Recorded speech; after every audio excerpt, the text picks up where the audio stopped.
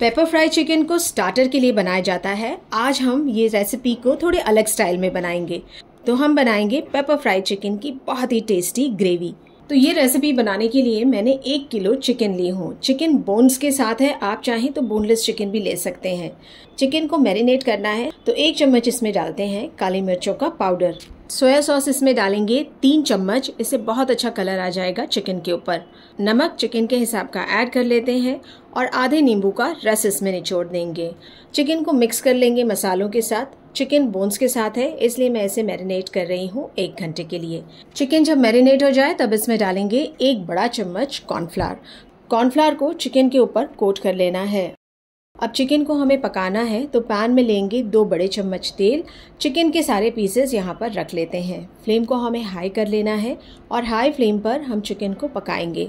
Chicken पर अच्छा सा गोल्डन कलर आ जाए एक तरफ़, फिर हम इसे पलट लेते हैं और दूसरी तरफ़ से भी अच्छा सा गोल्डन कलर आने तक हमें पकाना है। तो करीब तीन से चार मिनट के लिए इसे अलट पलट करते हुए हाई फ्लेम पर पकाएँगे। फिर हम ढक्कन लगा देते हैं और फ्लेम को एकदम लो कर लेंगे। लो फ्लेम पर हम चिकन को दस मिनट के लिए इसी तरह से पकने के लिए छोड़ देते हैं। चिकन पक रहा है, तब तक हम ये ग्रेवी के लिए मसाला बनाते हैं।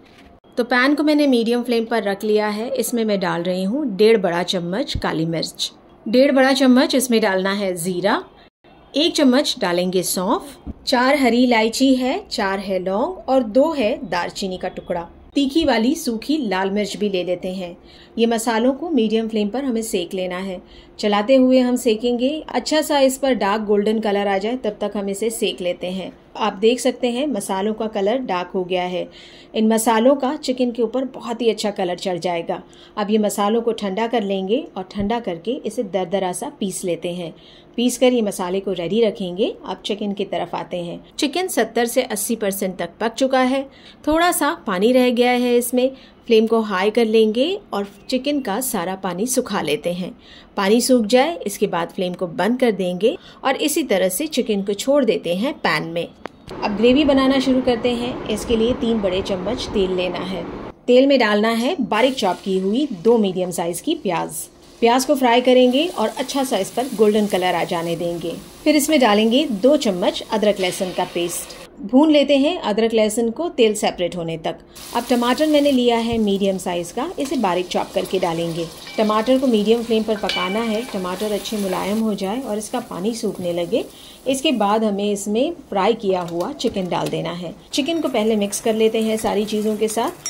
फिर इसमें डालेंगे आधा चम्मच हल्दी का पाउडर और एक चम्मच डालना है धनिया का पाउडर। फ्लेम को मीडियम ही रखेंगे, फिर से चिकन को सारी चीज़ों के साथ मिक्स कर लेते हैं। पेपर फ्राई चिकन का मसाला जो हमने दरदरा सा पीस के रखा है, ये अब डाल देना है। मसाला डालने के बाद चिकन के साथ इसे मिक्स करते हुए भून लेंगे। तो दो मिनट के लिए चिकन को मैंने सारे मसालों के साथ भून लिया है। अब मैं इसमें थोड़ा सा पानी डाल रही हूँ, करीब एक कप, और थोड़ा सा नमक भी डाल देते हैं मसालों के हिसाब का। कॉर्नफ्लावर की कोटिंग है चिकन के ऊपर तो ग्रेवी बहुत ही गाढ़ी बनकर रेडी होगी। तो ढक देंगे अब चिकन को मसालों के साथ पकने के लिए। 10 मिनट के लिए इसे मीडियम टू लो फ्लेम पर पका लेते हैं। और चिकन सॉफ्ट हो जाए अच्छी तरह से ग्रेवी में, इसके बाद ढक्कन हटा लेंगे। अब ढक्कन हटाने के बाद थोड़े से बारीक चॉप किए हुए धनिया के पत्ते डालते हैं। तीन से चार साबुत हरी मिर्चें डाल देंगे। मीडियम फ्लेम पर सारी चीज़ों को मिक्स कर लेंगे। फ्लेम को बंद कर देंगे अब। आप देख सकते हैं, काफ़ी थिक, गाढ़ी सी ये ग्रेवी बनकर रेडी हुई है। आप इस मसालेदार काली मिर्च चिकन की ग्रेवी को रोटी या पराठों के साथ सर्व कर लीजिए, या फिर आप इसका पानी ड्राई करके पेपर फ्राई चिकन स्टार्टर की रेसिपी की तरह भी सर्व कर सकते हैं।